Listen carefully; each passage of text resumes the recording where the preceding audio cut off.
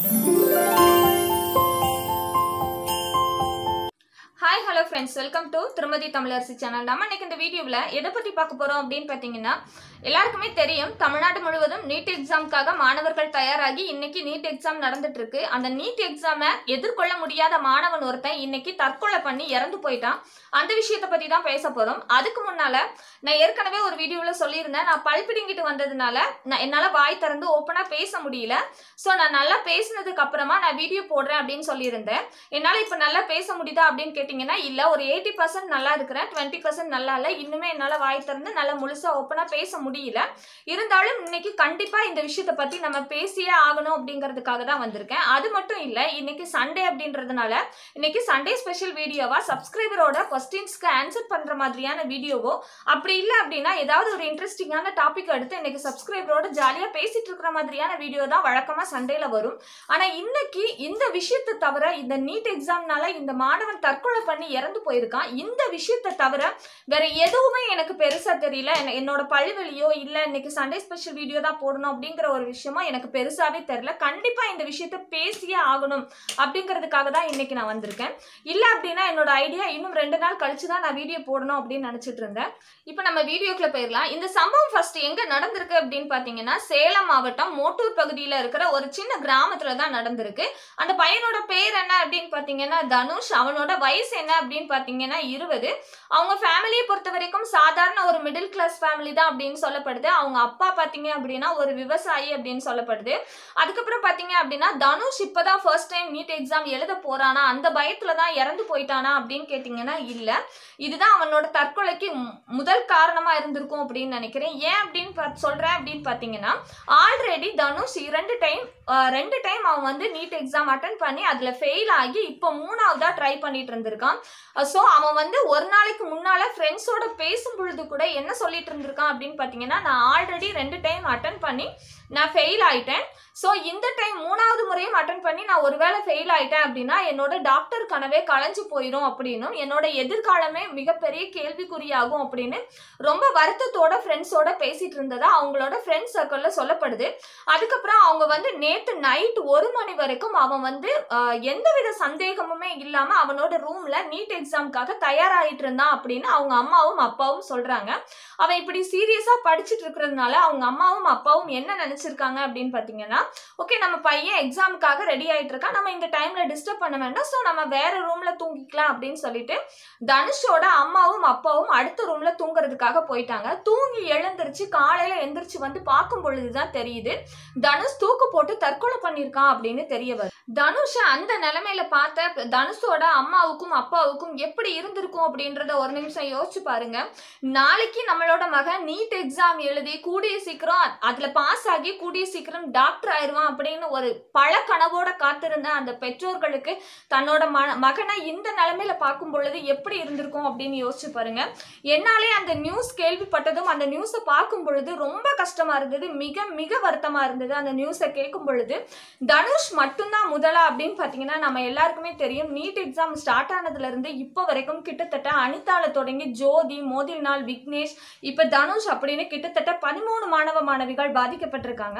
அப்படி பதிமூணு மாணவ மாணவிகள் பாதிக்கப்படுறதுக்கும் அதாவது தற்கொலை பண்ணி இறந்திருக்காங்க. கட்சிகள் மாறினாலும் காட்சிகள் எதுவும் மாறப்போவதில்லை அப்படிங்கிற வாசகம் தான் எனக்கு ஞாபகம் வருது. உடனே நீங்கள் ஏடிஎம்க்கு சப்போர்ட்டாக பேசுகிறீங்களா இல்லை டிஎம்கேவுக்கு சப்போர்ட்டா பேசுகிறீங்களா அப்படிங்கிறத தயவு செய்து கேட்காதீங்க. நீட் தேர்வு அப்படிங்கிறது ஏடிஎம்கே ஆட்சியில் கொண்டு வரப்பட்ட வரப்பட்டதா இல்ல டிஎம்கே ஆட்சியில கையெழுத்திடப்பட்டதா அப்படிங்கிற எந்த எந்த ஒரு விஷயத்துக்குலயுமே நம்ம உள்ள போய் பேச போறதில்ல.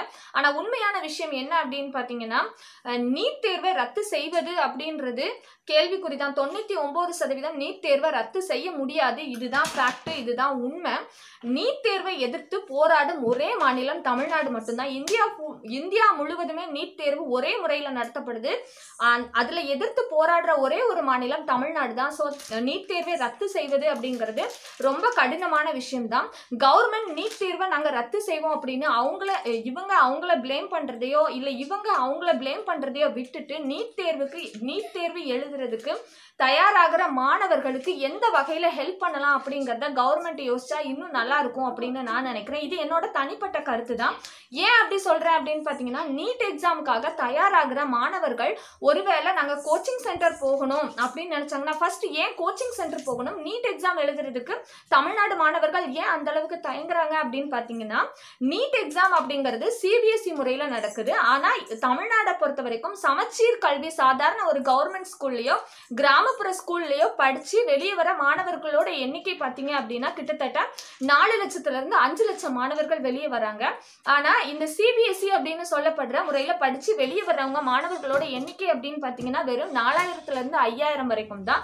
அப்ப தமிழ்நாடை பொறுத்த வரைக்கும் மருத்துவ கனவு அப்படிங்கிறது சிபிஎஸ்இ முறையில படிச்சவங்களுக்கு மட்டும்தான் நடக்கும். அதனாலதான் சி நீட் தேர்வு எழுதணும்னு ஆசைப்படுற எல்லா மாணவர்களுமே அதாவது சமச்சீர் கல்வி முறையில படிச்ச மாணவர்கள் கோச்சிங் சென்டர் போக வேண்டியதா ஒரு சூழ்நிலை வருது. அப்படி கோச்சிங் சென்டர் அவங்க போகணும் அப்படின்னு நினைக்கும் பொழுது அவங்க வந்து க- கொடுக்க வேண்டிய பீஸ் என்ன அப்படின்னு பார்த்தீங்கன்னா கிட்டத்தட்ட எழுபதாயிரம் எண்பதாயிரம் ஒரு லட்சம் ஒவ்வொரு கோச்சிங் சென்டருக்கும் ஒவ்வொரு விதமான ஒரு நிர்ண கட்டண நிர்ணயம் வச்சுருக்காங்க. ஒரு லட்சம் வரைக்கும் ஃபீஸ் கொடுத்தாதான் அவங்களுக்கு வந்து கோச்சிங் கற்றுக்கிட்டு அவங்க வந்து நீட் எக்ஸாம் அட்டன் பண்ண போக அட்டன் பண்ண போக முடியுது. அப்போ இந்த கவர்மெண்ட் இதுக்காக ஏதாவது ஒரு விஷயம் பண்ணலாம். இந்த நீட் தேர்வுக்காக தயாராகிற மாணவர்களுக்காக ஃப்ரீயாக கோச்சிங் கிளாஸஸ் எடுக்கலாம்.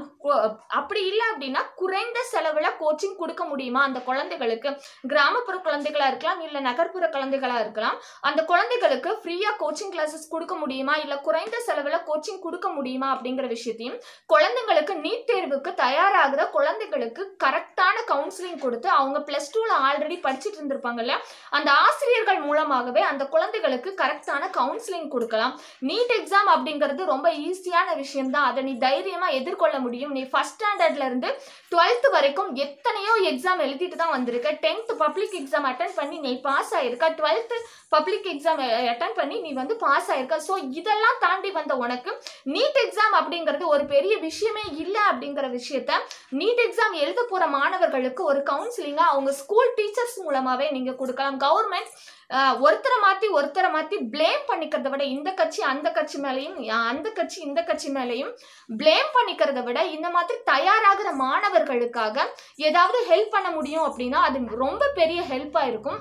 ஒரு எக்ஸாமுக்காக ஒரு மாணவனோ மாணவியோ தற்கொலை பண்ணிக்கிறாங்க அப்படின்னா அந்த அது வந்து தற்கொலையே கிடையாது. அது கிட்டத்தட்ட கொலைக்கு சமந்தான் நான் ஏன் அப்படி சொல்றேன் அப்படின்னு பாத்தீங்கன்னா அவன் தற்கொலை பண்ணிக்கிறதுக்கான காரணம் என்னவா இருந்திருக்கும் அப்படின்னு பாத்தீங்கன்னா நான் ஆல்ரெடி ரெண்டு டைம் அட்டன் பண்ணி நான் ஃபெயில் ஆயிட்டேன். மூணாவதும் நான் அட்டன் பண்ணி ஃபெயில் ஆயிட்டேன் அப்படின்னா அம்மா என்ன சொல்லுவாங்களோ அப்பா என்ன சொல்லுவாங்களோ இல்ல சுத்தி இருக்கிறவங்க என்ன சொல்லுவாங்களோ அப்படிங்கிற ஒரு பயம் இருந்திருக்கும். அவன் ரெண்டு டைம் அட்டன் பண்ணி ஃபெயில் ஆயிருக்கான் அப்படிங்கும் பொழுதே அவங்க அம்மாவும் அப்பாவும் அதுக்கான காரணம் என்ன? அதுக்கான உண்மையான காரணம் என்ன? அவனுக்கு உண்மையாவே டாக்டர் படிக்கிறதுல இன்ட்ரெஸ்ட் இருக்குதா அப்படின்னு அவங்க தெரிஞ்சிருக்கலாம். உண்மையாவே அவனுக்கு டாக்டர் படிக்கிறது கூட இன்ட்ரெஸ்டா இருந்திருக்கலாம். அவனால எக்ஸாம் தான் சரியா இந்த நீட் எக்ஸாம் அப்படிங்கிறது தான் அவனால சரியா எழுத முடியாம இருந்திருக்கலாம். ஸோ அதுக்கான காரணம் என்ன அப்படிங்கறத கண்டுபிடிச்சு அந்த வழியில் அந்த பையனை எடுத்துட்டு போயிருந்திருக்கலாம். இல்ல டாக்டர் ஆகுறது அவனோட விருப்பம் இல்லை அப்படின்னா சாதிக்கிறதுக்கு எவ்வளவோ வழிகள் இருக்கு. டாக்டரானா மட்டும்தான் சாதிக்க முடியும் அப்படிங்கிற விஷயம் கிடையாது. சாதிக்கிறதுக்கு எவ்வளவோ வழிகள் இருக்கு. அந்த பையனுக்கு என்ன பிடிச்சிருக்கோ அந்த விஷயத்துல அவனை எடுத்துட்டு போயிருந்தா நல்லா இருந்திருக்கும்.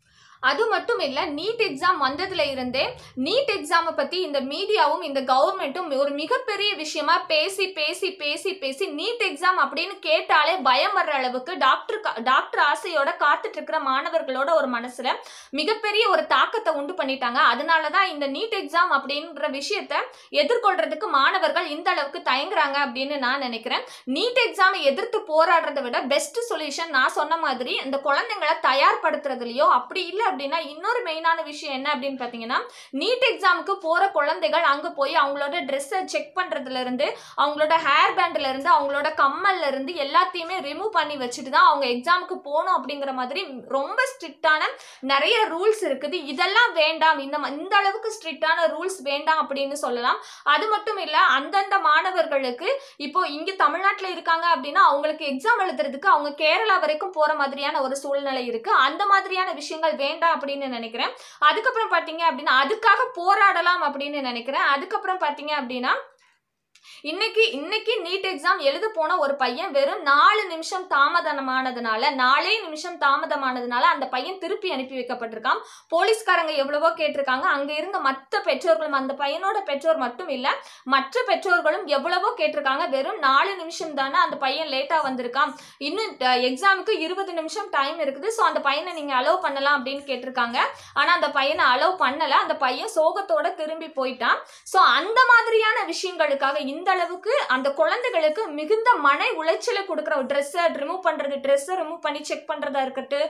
அப்படி இல்லைன்னா இந்த மாதிரி ரொம்ப ப்ரெஷர் கொடுக்குற விஷயங்கள் வேண்டாம் அப்படிங்கிற விஷயத்த போராடலாம் அப்படின்னு நான் நினைக்கிறேன். நீட் எக்ஸாமுக்கு தயாராகிற மாணவர்களுக்காகவும் இல்லை தயார் ஆக மாணவர்களுக்காகவோ இல்லை தற்கொலை பண்ணிக்கணும் நீட் எக்ஸாமுக்கு தயாராகிற மாணவர்களுக்கு தற்கொலை பண்ணிக்கணும் அப்படிங்கிற எண்ணம் வர மாணவர்களுக்காகவும் நான் சொல்லிக்கிற ஒரு விஷயம் என்ன அப்படின்னு பார்த்தீங்கன்னா இந்த உலகத்துல மிக தைரியசாலியான மனுஷன் யார் அப்படின்னு பார்த்தீங்கன்னா தற்கொலை பண்ணிக்கணும் அப்படின்னு முடிவெடுக்கிற அவன் தான் இந்த உலகத்துல மிக தைரியசாலியான மனுஷன். அவன் தற்கொலை பண்ணிக்கணும் அப்படின்னு எடுக்கிற முடிவுல அந்த தைரியத்துல ஒரு சதவீதம் தைரியம் இருந்தது அப்படின்னா கூட இந்த நீட் எக்ஸாம் அப்படிங்கிறது அந்த தற்கொலை எண்ணத்துக்கு முன்னால ரொம்ப சாதாரண ஒரு ஒரு விஷயம். அதனால நீட் எக்ஸாமை நீங்க ஈஸியா ஃபேஸ் பண்ணிடலாம் உங்களோட கனவும் லட்சியமும் டாக்டர் அப்படிங்கிறது தான். உண்மையாவே உங்களோட லட்சியம் டாக்டர் அப்படிங்கிறதுனா அதுக்கு தடையா நீட் எக்ஸாம் ஒரு தடையா இருக்கவே முடியாது. கண்டிப்பா நீங்க பாஸ் ஆகி வெளியே வந்துடலாம் அப்படின்னு நான் நினைக்கிறேன். மீண்டும் உங்களை சந்திக்கும் வரை உங்களிடமிருந்து விடைபெறுவது உங்கள் தமிழரசு.